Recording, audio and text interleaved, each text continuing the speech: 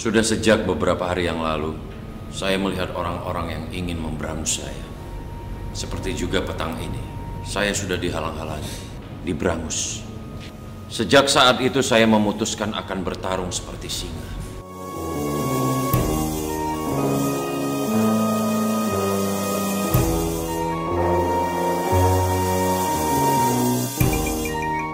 Aku tahu bagaimana harus meladeni mereka. Akan kuasah penaku menjadi busur panah, lalu kulemparkan ke kepala mereka yang tidak tahu malu itu. Di sinilah perjuangan akan dimulai.